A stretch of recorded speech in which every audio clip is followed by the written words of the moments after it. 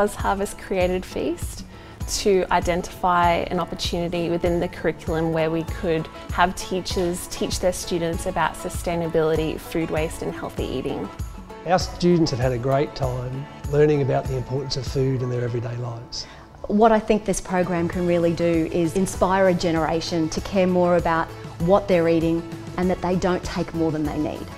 What I saw today were kids engaged and energetic about healthy eating and reducing food waste. It was incredible to see. The cookbook was a really good opportunity for the kids to demonstrate what they'd been learning throughout the unit.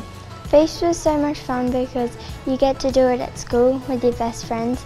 It's just so yum. Since I've learned Feast, I could cook really easy recipes easily and faster.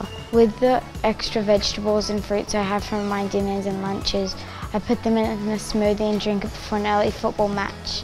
We have fixed up our veggie garden and our composting so all the old food goes in the compost bin. We're excited that currently we have funding to provide the kitchen kit, the teacher training and the curriculum package free of charge. All that schools need to provide are the groceries.